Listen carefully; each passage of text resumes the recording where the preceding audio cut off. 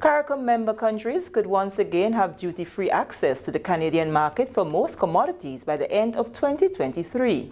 The announcement was made by Canadian Prime Minister Justin Trudeau at the 44th CARICOM Heads of Government meeting in the Bahamas. He said this will fall under the umbrella of the 1985 CaribCan Trade Program.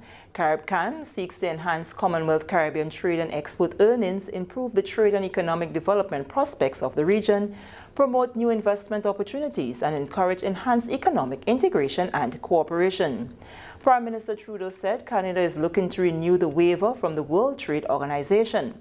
Trade has been listed on the agenda of the heads of government meeting in light of the reduction in overseas markets as a result of the COVID-19 pandemic.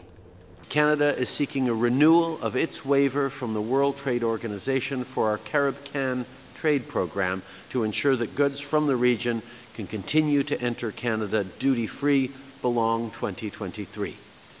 CaribCan was first announced by Canada at this same meeting in Nassau in 1985, so it's only fitting that we renew that pledge today.